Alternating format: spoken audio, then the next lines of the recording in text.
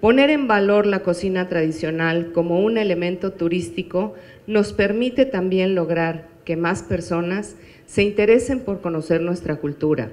nuestras comunidades y municipios, al tiempo de despertar en las nuevas generaciones el interés por saber más acerca de su propia historia.